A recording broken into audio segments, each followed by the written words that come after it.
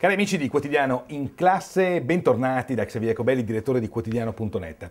L'argomento che sottoponiamo alla vostra attenzione per il dibattito di questa settimana è l'unità d'Italia. Nel 2011 si compiono i 150 anni della fondazione dello Stato unitario. Che cosa pensate di questo anniversario. Da che parte state? Con quelli che sostengono che sia una ricorrenza da celebrare in ogni modo per cementare ancora di più l'Unione Nazionale o con quelli come ad esempio il ministro per la semplificazione Calderoli che ha preannunciato che non sarà presente alla prima della serie di manifestazioni previste per eh, festeggiare i 150 anni dell'Unità d'Italia.